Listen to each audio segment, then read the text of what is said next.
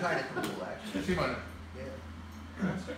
Set her up again, gentlemen. One, two, one, eight, birthdays.